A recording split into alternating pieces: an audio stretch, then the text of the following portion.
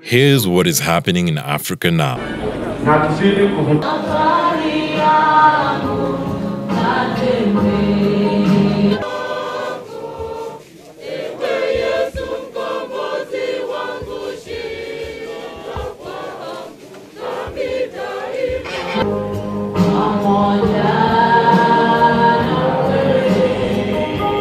gari ya spika sijui adunge huko kwa tangi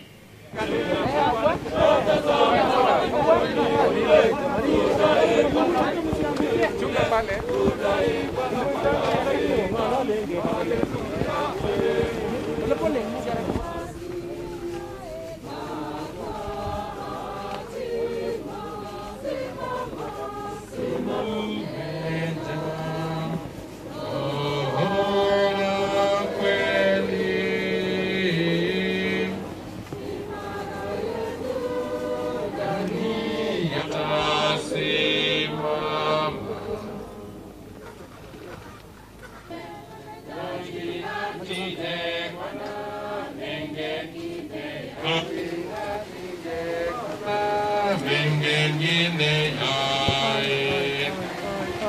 It's unfortunate, you know, what occurred, um, um, the passing on of um, uh, um, uh, our great athlete Ag- Agnes Tirop, and um, we're really mourning, and um, it's, it's unfortunate that it happened. It had to happen that way, and I remember she was murdered, and everybody's mourning here, and it's it's it's, it's a tragic that uh, it, I can call it. It, it should be condemned uh, in any way possible because it's not easy to, to for the world of sports, especially in, in the parents in, in the country, uh, Kenya country, to, to to keep in, you know to endure this kind of atrocity.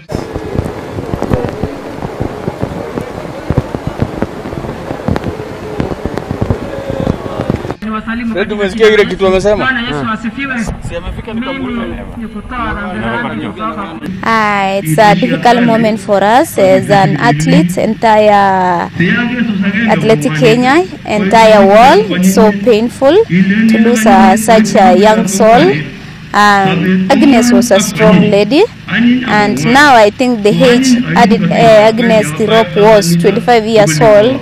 It's the time too I started break records, uh, and I was seeing that uh, she was capable to run uh, more records, to to be a champion, more champion.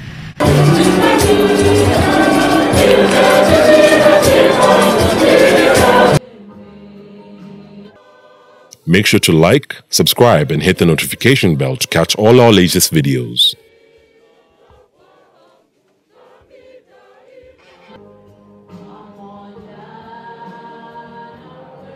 You can now leave your suggestions or topics you'd like us to cover in the comments below.